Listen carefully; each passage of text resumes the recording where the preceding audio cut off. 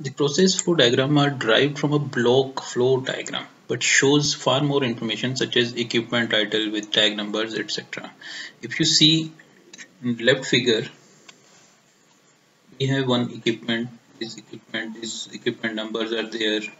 Okay flow direction is there tag numbers are there.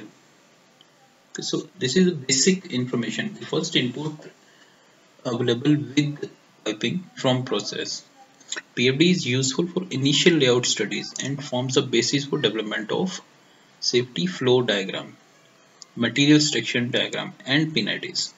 Okay, so even process is having only these PFDs before developing the P&IDs. So this is very important document which is used at initial stage of the project.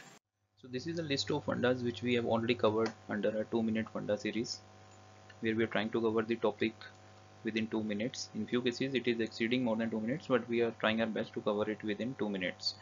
Okay we have we have recently started this series under the same uh, oil and gas funda knowledge sharing platform. Earlier we had covered uh, our 14 topics along with 62 videos. Okay now we have covered uh, we have started this series 2 minute funda and we have added more than 100 videos here. So into altogether we have uh, more than 200 videos now. I'm sure you are watching it under standard and HD format along with the subtitles. Many more are on the way. So stay tuned. I'm sure you are enjoying the videos. So see you in the next part